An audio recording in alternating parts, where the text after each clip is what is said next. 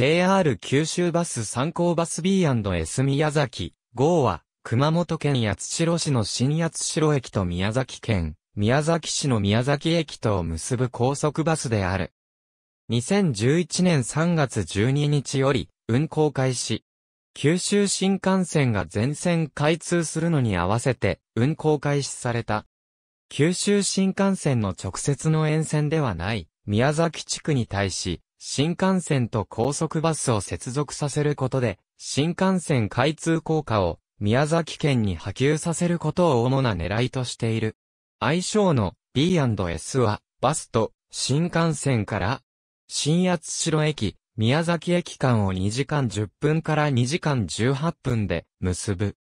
宮崎駅は、九州新幹線の下り、桜に7分で接続し、新八代駅は、九州新幹線の上り、桜に20分で接続することにより、博多駅、宮崎駅間を、現行の高速バス、フェニックス号より約1時間早い最速3時間10分で移動できるとともに、渋滞の多い区間をバスで通過しないことにより、定時性の確保に優れていることを歌い文句としている。また、バスの号数も新八代で接続する新幹線の号数に合わせられている。座席は全席予約指定制。予約発券は高速バスネット、JR 九州の緑の窓口でも取り扱う。一方で、他の九州管内の高速バスのように、バスで、や、九州参考バスや宮崎交通などの高速バス予約センター、参考バス沿線の営業所以外での予約発券などは行えない点に注意が必要である。高速バスネットの構築に関わった JR バス、関東、JR 東海バス、西日本 JR バスが一切関わらない路線が、同システムに参加するのは、広島高松線に次いで2例目であるが、広島高松線が2013年3月に同システムから撤退したため、現在では通年運行する路線としては唯一となっている。おおむね25%の割引となる新幹線と高速バスを組み合わせた割引切符 B&S 宮崎2枚切符を販売している。このほか、3区パスも南部九州版、全九州版のみ使用可能。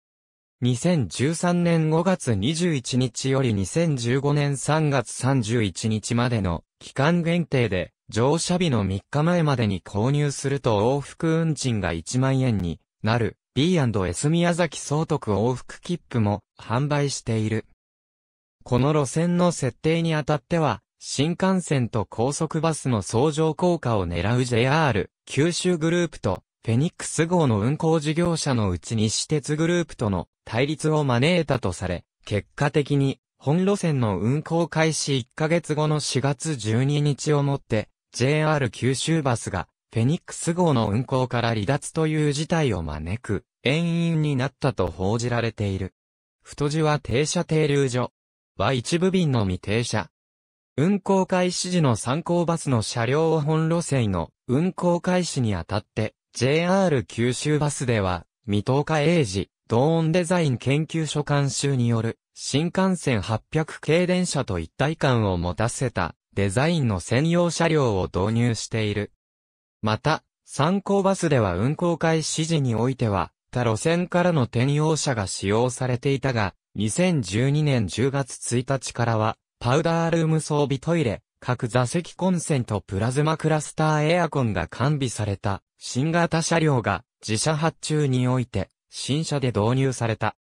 参考バスではその後も新車導入が相次ぎ、2018年10月には2012年に4台導入されたうちの2台が本路線の運用を離れ、天草営業所に転属、さらに翌2019年7月には残り2台も天草に転属し、2012年式車は全車が新車に置き換えられている。